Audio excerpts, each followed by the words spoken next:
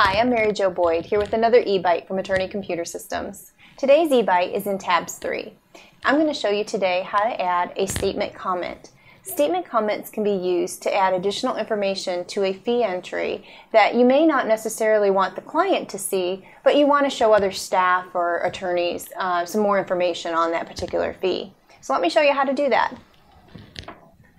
So while I'm entering my fee, I'm going to go into a client and just like I would add any other normal um, fee, I'm just going to put in an hour's time. Um, let's say that I just want to put in a statement comment. I want to just show some some um, information that I just want someone else to see, but not necessarily the, necessarily the client. So if I right click and click statement comment and start typing my comment, you'll see that it starts coming in here as red. That makes a um, comment that is only seen on the draft statements, the WIP report, or a transaction file list that will not be seen on a final statement. So I can type any information in here that I want. When I'm done making my comment, I can just again turn that off and then I can continue to type and you'll see that it is now in um, regular type, not red. Another way to do this is if I were to have just a, I'm going to pick a um, actual transaction code and type in some information.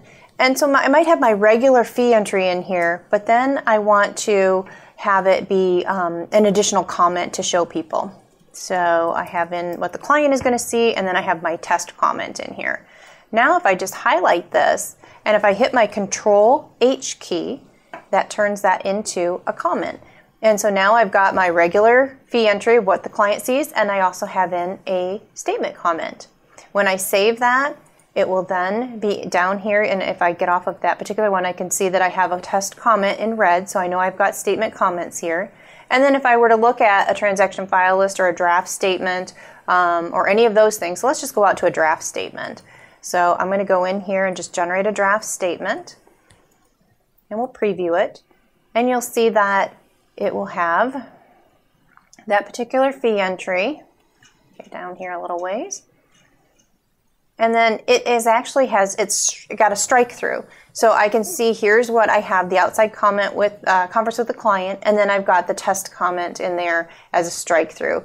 And then this will not show up, like I said, on the final statement. If you want to remove those comments, I'm just going to get into it from the drill down here. I can just highlight that and I can just delete it right out of there and it's gone. And again, this will show up on the transaction file list and on your WIP reports. I hope that eBite's been helpful for you. If you have any questions or comments, please feel free to contact us either by phone or on our website. Thank you.